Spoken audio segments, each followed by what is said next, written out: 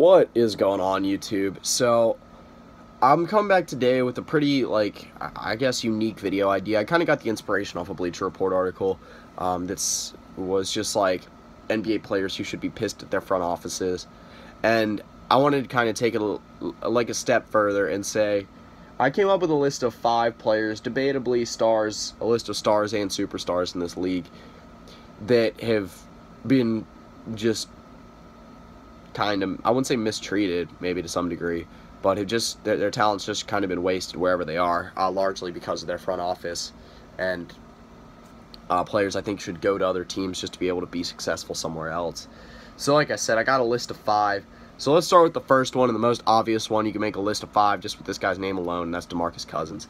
So DeMarcus Cousins, man, the Kings front office has been a mess. Like I love DeMarcus Cousins. I think he's one of the most talented players in the NBA.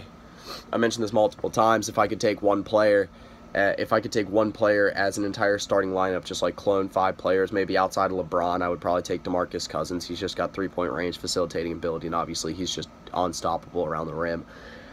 But again, he's with the Kings right now, maybe uh, one of the worst starting fives in basketball, and they just can't seem to put together like a quality off season to lead into a quality season and just actually do anything that makes sense. It's just kind of sad to see a player so good just kind of wasted. Hopefully, in my mind, he gets traded. Next one, I don't know if he should get trade. Like, this guy isn't the most, like, I'd say mistreated player, most wasted talent, but John Wall. You know, this hasn't been so much the Wizards front or the Wizards front office, is just the players around John Wall. I do think he's a clearly a top five point guard in this in this league.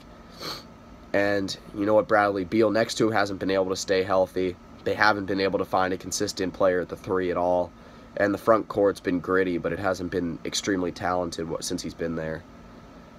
Um, you know, I, really it was really intriguing to me to hear a trade idea of Russ for John Wall.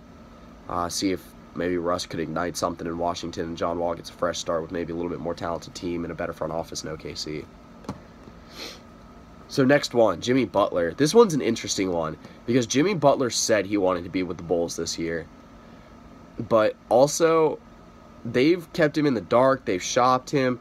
Um, you know, they've changed this team around completely. They traded, er, they, they acquired two players that are kind of clashing with his play style.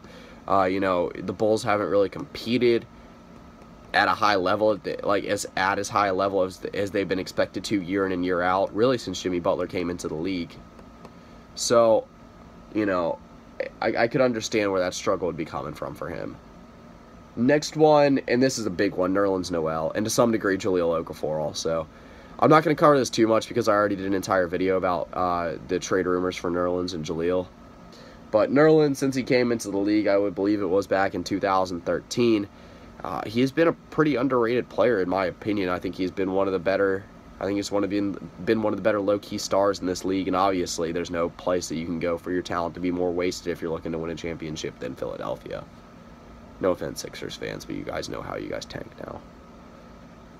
So, last but not least, and this is kind of an interesting one, but I'm going to say Chris Paul. Chris Paul has, while he makes it, while the Clippers have been extremely competitive, they just choke every year in the playoffs. Again, another team that hasn't been able to find a consistent player at the three really since I think Chris Paul came to LA. he was given a very good supporting cast, there's no doubt about that. Between DeAndre Jordan, Blake Griffin, and Chris Paul, they have formed one of the better big threes in the league. And to some degree, a lot of what's happened is kind of Chris Paul's fault. You know, he he just wasn't as clutch as you would have hoped for him to be in the times that you needed him. But either way, I don't think the Clippers have been able to put a consistent, steady team around him as much as you would like to see. And it'll be really interesting and probably just even nice to see him play in a different location uh, when it comes to free agency this coming season. So like I said, wanted to make a little bit of an interesting video today.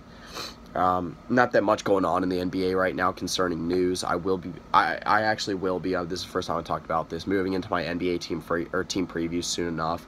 Uh, probably mid August will be when I start them. Uh, just because that'll be what about a month, month and a half out from the season, a little bit closer to the preseason. So that'll pretty much do it. like I said, interesting video. Uh, I'll put the list of everything in the description below. And then also go check out my website. Link to that will be in the description below. All my NFL previews, a few other blog posts, all my social media, all that's on there. Uh, go give me a follow on Twitter. I will follow you back. I tweet sports or sports fire every single day. So go shoot over there. Give me a follow. Link to that will be in the description below. Same thing with my Instagram. So that's pretty much it. See ya.